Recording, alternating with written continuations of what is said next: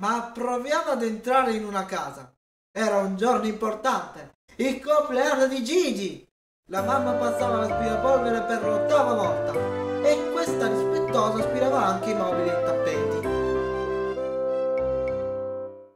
Quando veniva rimessa nello sgabuzzino, sputacchiava polvere dappertutto.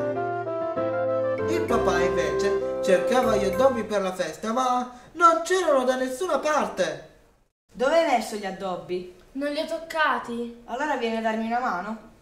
Cerca e ricerca decidono di dare al figlio il regalo senza la festa. Lo portarono in salotto e la sorpresa fu di tutti. Gli addobbi erano ricomparsi e il salotto era tutto festoso.